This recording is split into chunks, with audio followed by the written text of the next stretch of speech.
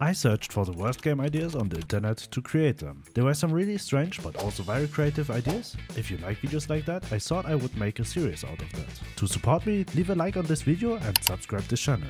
Also feel free to write me in the comments what bad game ideas you have that don't make any sense but are funny. Let's go in. I found what I was looking for very quickly for the first game in this series.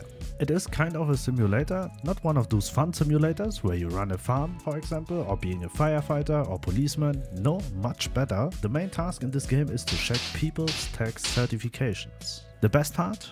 That is the best part. Let's get started. I've created a sketch that shows the structure of the game. We have the name, profile picture of the applicant, the income and the submitted costs.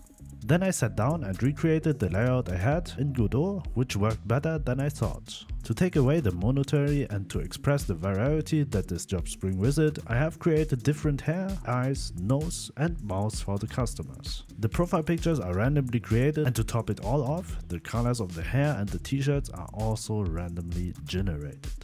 Like the rest of the game, the first name, surname and income are also randomly picked from a list. Since I didn't want to be selfish, I shared the fun of coming up with 40 names and surnames with a random website so that they could generate the names for me and put them in a list. The number for the income is just a number and it's actually not relevant for the game and only serves as distraction.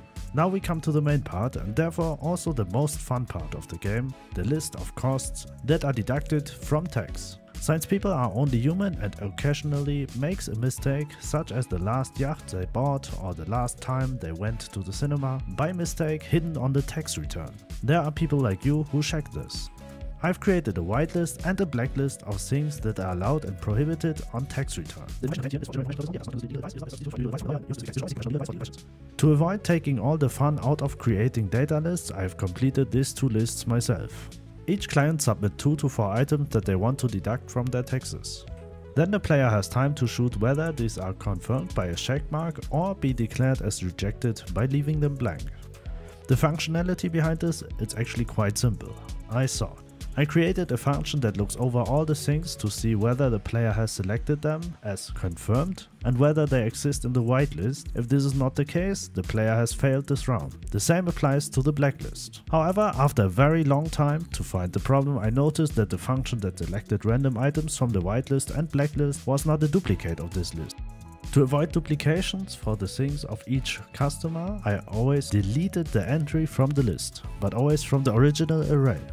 This meant that the player could always simply press submit and the score simply went up.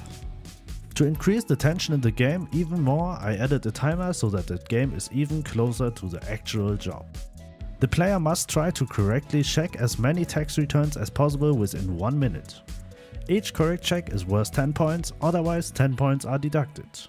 In the end, I don't think the idea of this game is bad at all. It has a challenging character and it's even a bit fun.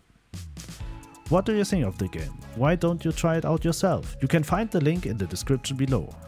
Feel free to write me your high score in the comments. Thanks for watching, if you enjoyed the video please leave a like and subscribe to the channel so you don't miss any more videos. Hopefully we'll see you again in the next video.